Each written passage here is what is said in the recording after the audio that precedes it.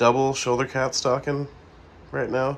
This is why I didn't train Charlie to be a shoulder cat, by the way, because I didn't want triple. Well, I take it back. I actually had three at the time. I didn't want four.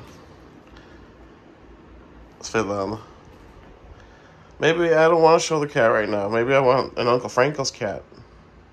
Just kidding. I want Svetlana. The Svetlana. what do you, Zevran cat? Should I do double shoulder cat?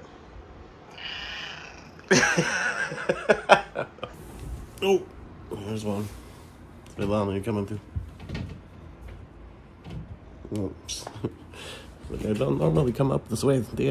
Oh, oh, oh, oh, God, I don't, I don't, I don't really.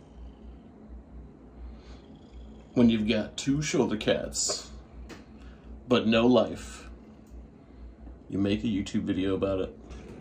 That is good tagline.